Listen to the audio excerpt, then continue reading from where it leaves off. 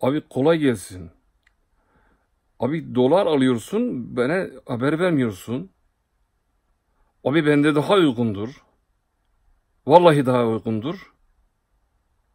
Yok abim yok gözüm sen Akbank'tan almışsın doları 4.99'dan. Çok pahalı abi. Yazıktır.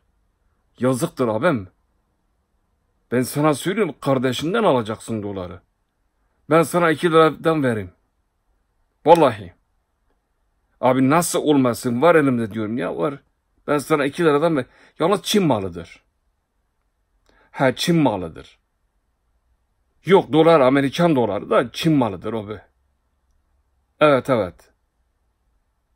Yani sıkıntı yok. Mal temiz. Bir sıkıntı oldu mu abi getir değiştiririz yani.